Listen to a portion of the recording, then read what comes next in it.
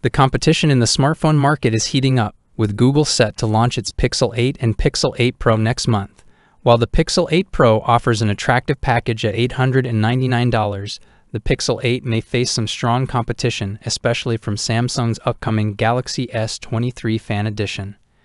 The Pixel 8 is expected to be priced at $699, which is a $100 increase compared to the Pixel 7. This price bump comes with several upgrades, including a 120Hz screen with 2000 nits peak brightness and a newer processor.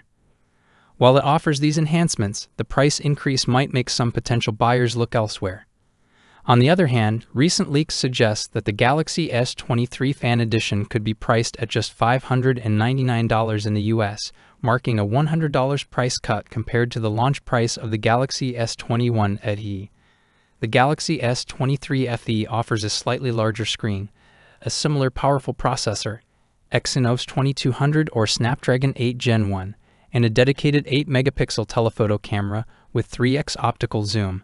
Both phones feature 50 megapixel primary rear cameras, 12 megapixel ultra wide cameras, and 10 megapixel front facing cameras.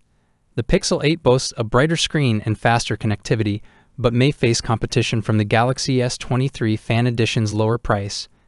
Additionally, the Galaxy S23 FE will be launched in more countries worldwide compared to the Pixel 8, and Samsung's extensive after sales service network can be an appealing factor for many buyers. However, the Pixel 8 has an advantage in the form of promised 7 years of software support, which is 2 years more than the Galaxy S23 Fan Edition's 5 years of software support. This extended software support might influence some users who prioritize long term updates and security.